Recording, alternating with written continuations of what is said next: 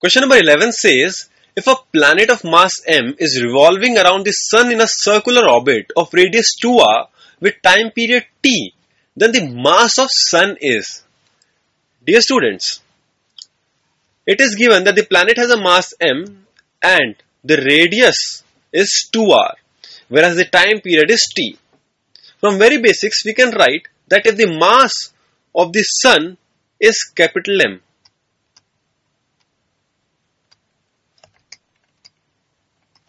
then G capital M into small m divided by 2r square should be equal to mv square by 2r.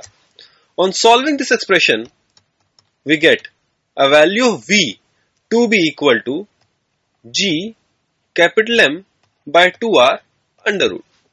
Dear students, time can be written to be equal to the circumference that is 2 pi into 2r divided by the speed that will be 2 pi into 2r divided by under root of gm by 2r.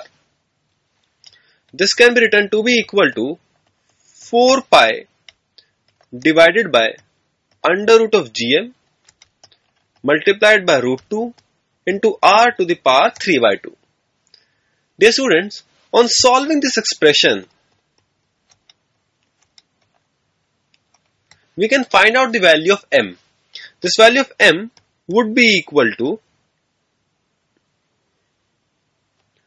32 pi square r cube gt square. Therefore, dear students, the correct answer for this particular question should be option number 1. Now let us proceed to the question number 12. Question number 12 says, the magnitude of gravitational potential energy of a body at a distance r from the center of earth is v. Its weight at a distance 3r from the center of earth is. Now dear student, the potential energy due to gravitation can be written to be equal to minus g into small m into capital M divided by r, where small m is the mass of the body and capital M is the mass of earth. It is given that this is equal to V. We have to find out the weight of the body at a distance 3r from the center of the earth. Now dear students, to find out this weight, we can find out the force that the earth applies on the body. It will be equal to g into small m into capital M divided by 3r square that will be equal to g into small m into capital M divided by 9r square.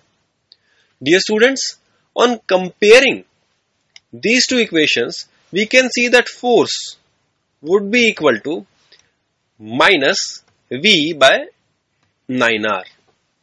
And hence the correct answer for this particular question should be option number 2 as we are just taking the magnitude.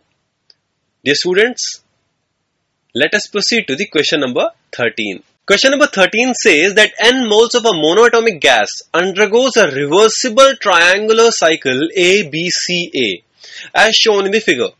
The work done by the gas in the cycle ABCA will be. Dear students, in the question a PV diagram has been given to us and work will be equal to area of PV diagram.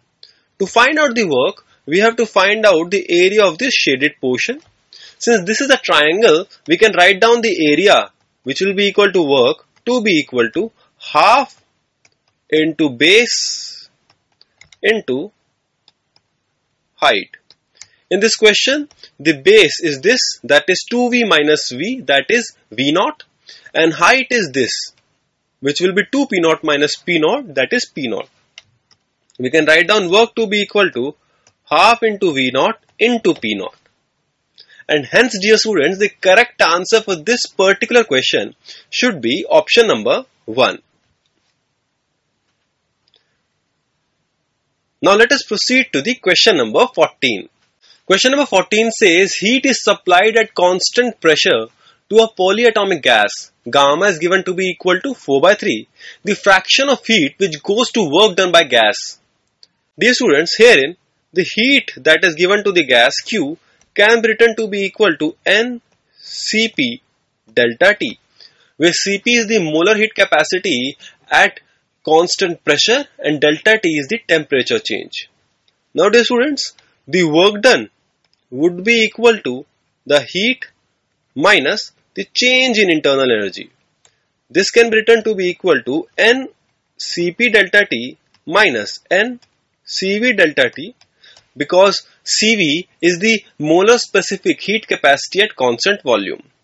Dear students, we have to find out the ratio of W with Q which will be equal to N Cp delta T minus N Cv delta T divided by N Cp delta T.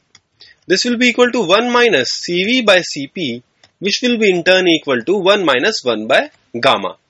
In the question, gamma has been given to be equal to 4 by 3. So therefore, W by Q can be written to be equal to 1 minus 1 by 4 by 3 which will be equal to 1 by 4. And hence dear students, the correct answer for this question should be option number 3. Now let us proceed to the question number 15. Question number 15 says which of the following pressure temperature curve best represents the adiabatic process for an ideal gas. Dear students, for an ideal gas in adiabatic process, we can write that P to the power 1 minus gamma into T to the power gamma is a constant. We can also write that P to the power 1 minus gamma is proportional to T to the power minus gamma. Also, P can be written to be proportional to T to the power gamma divided by gamma minus 1. Now dear students, if gamma is greater than 1, which is the case for ideal gases, this particular exponent would be greater than 1 and positive. And therefore, dear students, as T increases, P would also increase. Therefore, the correct answer for this particular question should be option number 1. Now let us move to the next question which is question number 16.